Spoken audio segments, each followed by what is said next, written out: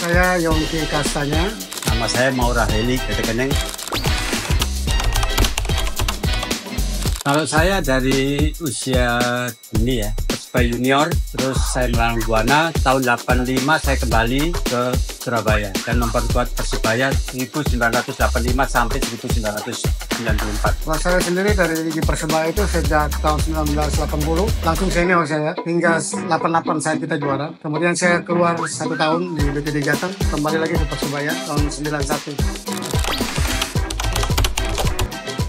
Uh, yang pertama itu sebenarnya kita sebagai mantan pemain pemain persebaya pada saat itu juga kaget dengan apa yang diagendakan sama Pak manajer Pak almarhum Haji Adi Lali. Kita kaget karena beliau memakai kita kostum uh, warna merah. Karena persebaya ini kan selalu hijau atau putih.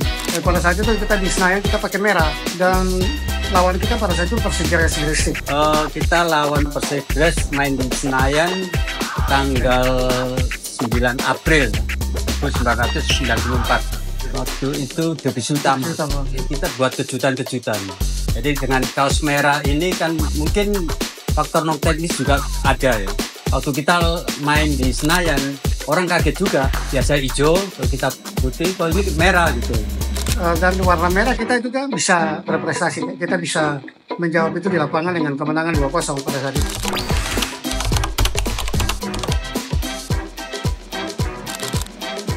memang Pak Agi ini kan almarhum ini kan memang orangnya agak agak unik, senang yang yang yang uh, lain daripada yang lain.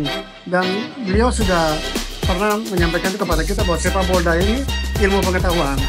Barangkali dengan termasuk kostum itu kalau bagian daripada strategi sehingga uh, lawan juga tidak mengira lawan itu ketika menghadapi persebaya apa sih hijau dia. Tapi ternyata ketika kita keluar kita merah apa kita kuning itu secara mentalitas itu pemain lawan juga nervous juga. Wah ini ada apa ini kok pakai kostum seperti itu? Dan itu terjawab lewat ya itu kan main. Jadi pemain ini juga mesti siap untuk itu sebenarnya. Warna kuning. Uh, kuning di sini biru gitu. Eh, pertama kali kita pakai main di ujung pandang.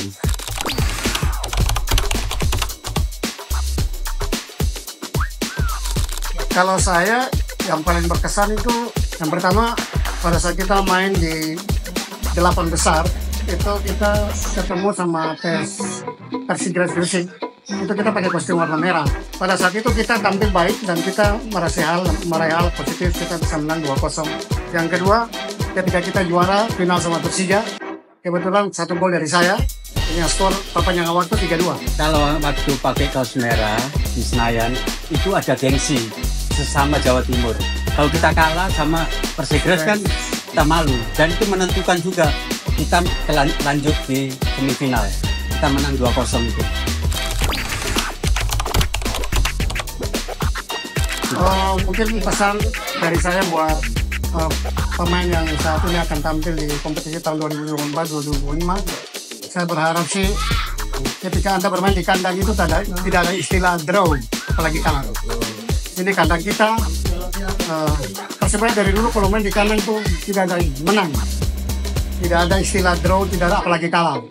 Saya berharap juga tahun ini mereka bisa berprestasi dan bisa. Tentunya bonek kepingin kan juara. Ini lama nih kita nunggu. Saya ya itu tadi motivasi untuk bermain harus menang di kandang. Dan untuk manajemen perhatikanlah pemain dan motivasi untuk memberikan satu kemenangan bagi Surabaya Persibaya Salam satunya wangi.